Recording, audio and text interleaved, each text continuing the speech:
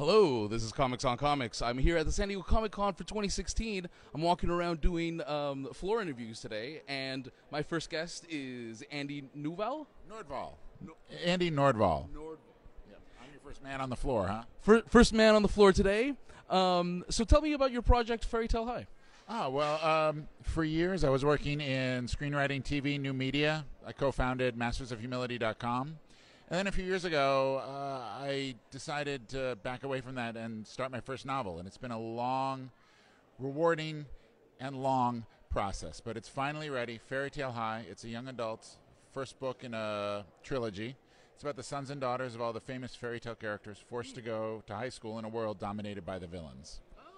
Wow, that sounds like a lot of fun. Yeah, and there's a free sample on Kindle right now. There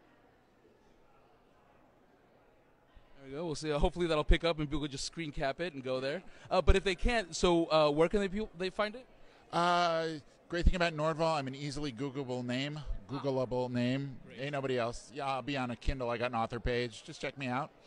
And uh, like I said, I just finished it. I'm here to meet with like agents and other writers and network, and see where it goes. Sweet.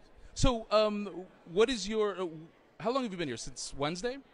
No, no, I came in Thursday morning. I, I, I uh, in addition to writing, I also uh, watch some kids. I'm sort of a stay-at-home dad, writing on the side, and uh, I keep thinking I'm going to do Wednesday, but I just I can't leave my kids. I miss my kids. Oh no, of course, absolutely. So, w- coming down to San Diego Comic Con, what are some of the things that you want to see this weekend?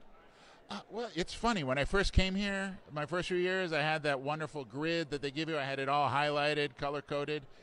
And I just, just stopped doing that. Now I just sort of go and I wander and I see who I meet. And I mean, heck, I'm getting interviewed. I just, you know, if you're pardon the cliche, open to the universe because uh, lots of uh, weird universe stuff comes to San Diego this weekend.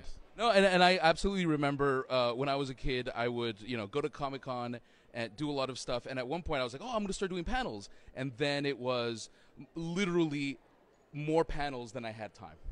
You know, and then it's just like, you know what? Why don't we just enjoy ourselves? Come out, leisurely stroll around, and meet people.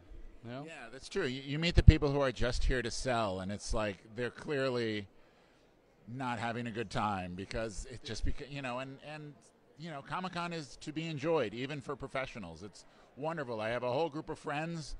They're probably all from LA like me, and yet I only see them once a year. So this is my year to to see all my Comic Con friends and make some new ones. Sweet. Well, Andy, thank you very much. I'll see you around. Thanks, you. Comics on comics.